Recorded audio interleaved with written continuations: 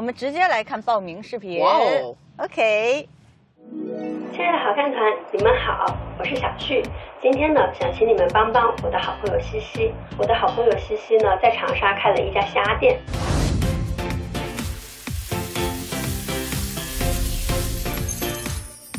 开虾店看起来好像是个光鲜亮丽的职业，但是其实它特别特别不容易。嗯我做餐厅很辛苦的，嗯，这是你自己种的吧？无论是从食材的采购、外卖的配送、好吗？我去看一下啊。平时店里面的服务和收银，他都需要自己亲力亲为的去盯着。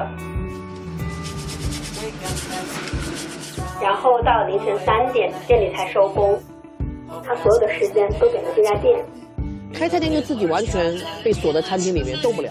然后也是一个单亲妈妈。单身妈妈，她清楚的知道，就是一个女人想要照顾好自己的孩子，想要让自己的孩子有好的生活，她就必须要有自己的事业。对，这么多年来，她一直有一个心愿，就是能够好好感谢一下这些年一直支持她的老顾客们，然后能够让大家有一个非常开心的聚会。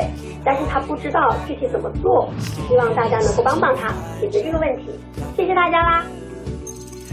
这一个有开店经历的这么一个女女老板，确实经营餐厅是一件非常非常难的事情。是。然后事无巨细，很琐碎。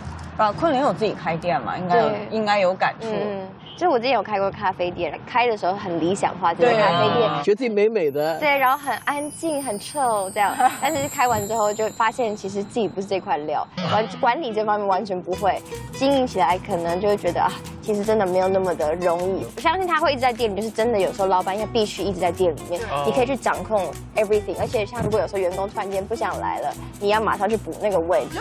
对对，所以就有很多状况，所以我觉得嗯，做餐饮业真的很辛苦。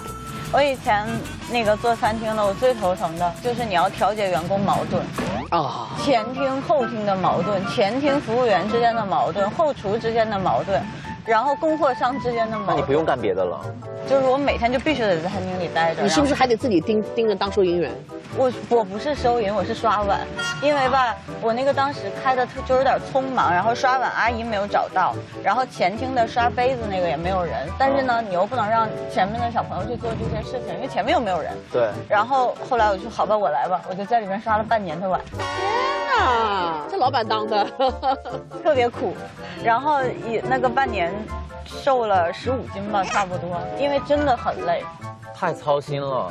很难的，开尤其是虾店，因为好的虾店，大家就对这个卫生质量要求特别高嘛。嗯，而且你想，他开虾店，那虾店都是要开到两三点的。。对，对。那孩子到底是怎么办呢？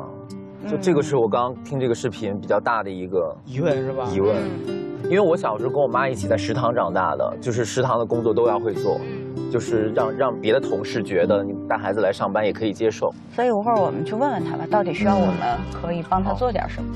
嗯。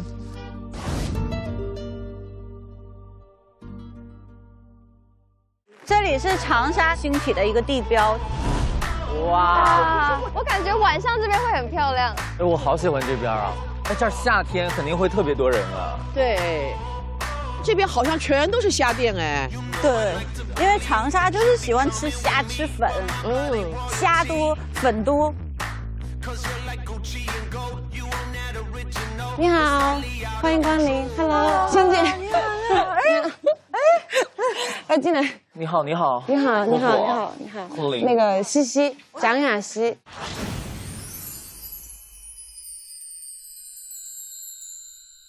哦，你把店名给换了。对对对，所以欣欣你认识他是吧？因为每次我们录完节目呢，就先打电话把他那个包间给占下来，然后就大部队就杀过去，那个店里基本上就都是我们的人了。对啊。他人很好，就有的时候我们收工太晚，实在是懒得动了，就给他打电话，就是我们今天就是有点懒得动嘛，他就会叫那个专车，他帮我们送过去。我给你送过，你记得吗？我记得，我当然记得了。你你还刚洗完头，披头散发打开门。披头散发，哎，好有画面感。披头散发吃着虾，你知道吗？那一块看看呗，都到处逛逛看看呗。